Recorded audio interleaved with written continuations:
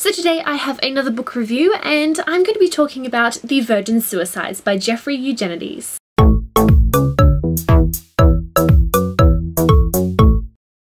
Book is told from the perspective of a group of men.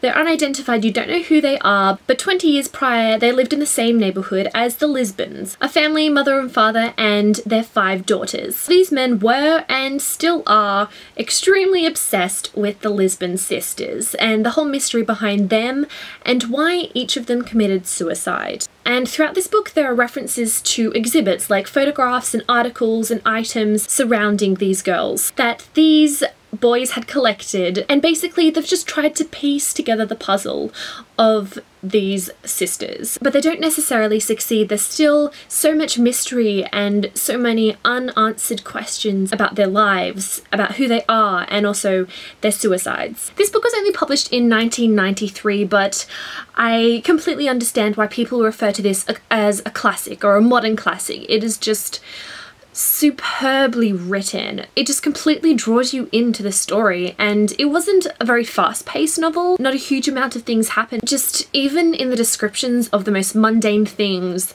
the boring happenings going on in this neighborhood, you are completely sucked into the story. And it all comes down to the writing style. It is just perfect, absolutely beautiful. Like I said, not a whole amount happens and even still you know what is going to happen at the end of the story. You are aware of how this story is really going to end but even still you want to know why you want to know how you want to know more about these girls and why they did the things that they did the mysterious aspects of it it's just it's so captivating so in this book the narrator transitions between quite factual emotionally detached retellings of these boys observations of the girls to moments of really intense curiosity of reminiscence and wonder. It was a really interesting comparison to see and especially when it came to the girls' suicides. It was quite a confronting thing even though you knew it was going to happen it was still quite shocking but there was this emotional detachment you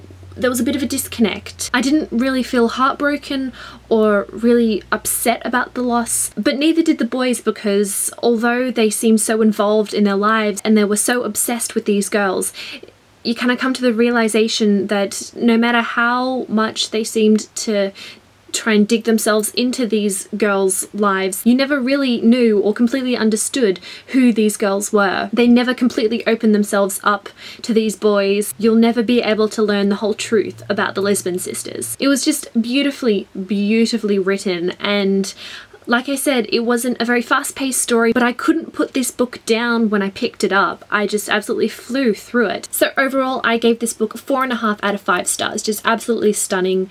The writing was superb, so unique, so, so beautiful. It was it was just wonderful. I really, really enjoyed it. I'll leave a link down below to where you can buy this book on the book depository through my affiliate link, but if you have already read it, feel free to leave your comments down below, your thoughts and opinions. And I also wanted to ask for those who have also watched the movie if you'd recommend it if it was any good because I'm definitely interested in seeing the movie so I might do that. But yes that's all that I have for this review. I hope you enjoyed it and I will see you guys next time.